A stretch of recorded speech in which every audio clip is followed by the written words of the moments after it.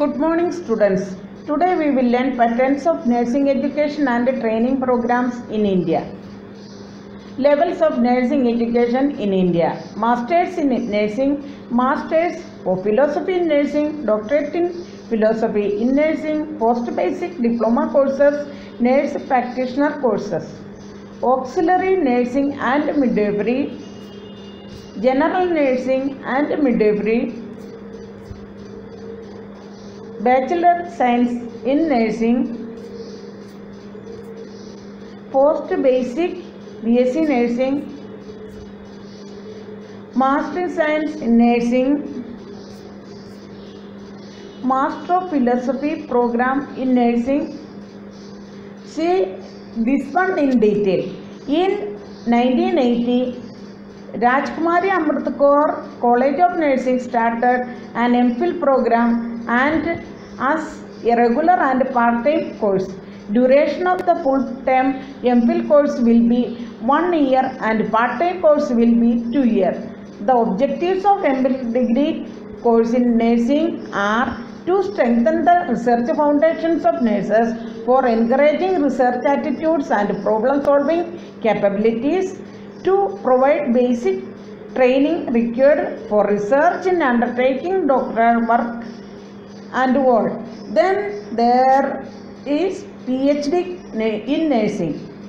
National Consortium for PhD has been constituted by Indian Nursing Council to promote research activities in various fields of nursing. Six study centers has been recognized by National Consortium for PhD in Nursing. College of Nursing, Nimans, Bangalore RIK College of Nursing, New Delhi, CMC College of Nursing, Vellore, CMC College of Nursing, Ludhiana, Government College of Nursing, Trivandrum, Government College of Nursing, Hyderabad.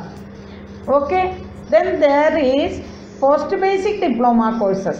Post Basic Diploma Courses in Oncology Nursing, Post Basic Diploma Course in Nursing Practitioner in Midwifery, Post Basic Diploma in Neonatal Nursing, Post-basic diploma in psychiatric and mental health nursing, post-basic diploma in emergency and disaster nursing.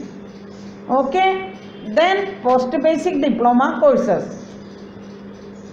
Post-basic diploma in critical care nursing, post basic diploma in cardiothoracic nursing, post basic diploma in orthopedic and rehabilitation nursing, post basic diploma in neuroscience nursing, post basic diploma in operation room nursing.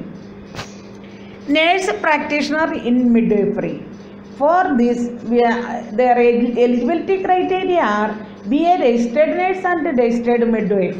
Possess a minimum one year experience as a staff nurse nurses from other countries must obtain an equivalence certificate from INC before admission. Be physically fit. These are the things we explained for patterns of nursing education and training in India. Okay.